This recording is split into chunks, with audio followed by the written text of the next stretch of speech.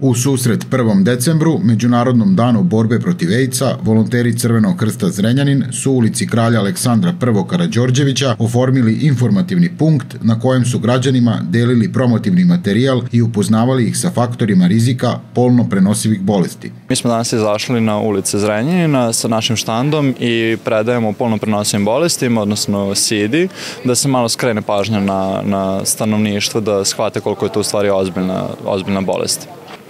Danas akcija obuhvata anketiranje građana koje je anonimno da vidimo koliko znaju o svemu tome. Vrši se, imamo naš štand, tu ćemo promovisati sve naše što trenutno što možemo prikažemo, odnosno sve vezano za polnoprenosive bolesti i naše plakate koje smo spremili ćemo podeliti, to je promotivne materijale.